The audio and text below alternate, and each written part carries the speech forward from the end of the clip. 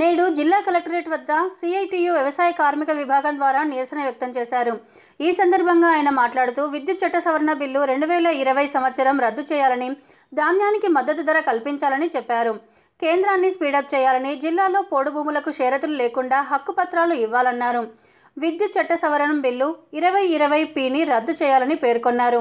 రైతులకు మద్దతు ధర కల్పించి చట్టం చేయాలని జిల్లాలో కొనుగోలు కేంద్రాల్లో ధాన్యాన్ని కొనుగోలు చేసిన రైతుల ఖాతాల్లో షరతులు లేకుండా ఓటీపీ పద్ధతిని రద్దు చేస్తూ డబ్బులు చెల్లించాలన్నారు. జమ చేయాలన్నారు. కొనుగోలు కేంద్రాలు స్పీడప్ చేసి తడిసిన ధాన్యాన్ని కొనాలని మెదక్ జిల్లా కలెక్టర్ హరీష్కు వినతి పత్రాన్ని సమర్పించారు. చేయాలి విద్యుత్ చట్ట సవరణ బిల్లును వెంటనే. రద్దు చేయాలి విద్యుత్ చట్ట సవరణ బిల్లును వెంటనే. ఇవ్వాలి షరతులు లేకుండా పోడు భూములకు హక్కు పత్రాలు. ఇవ్వాలి షరతులు లేకుండా పోడు భూములకు హక్కు పత్రాలు. ఇవ్వాలి షరతులు లేకుండా పోడు భూములకు హక్కు పత్రాలు.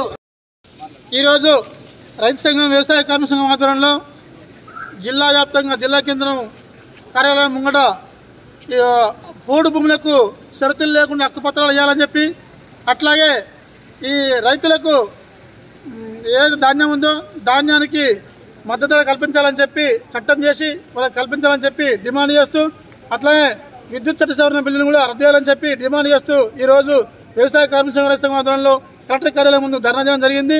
ధర్నా చేసి ఇంతతో ఆగకుండా కొనుగోలు కేంద్రాలలో వెంటనే ఈ కొనుగోలు కేంద్రాలు సులభ చేసి ధాన్యాన్ని కొనుగోలు చేయాలి.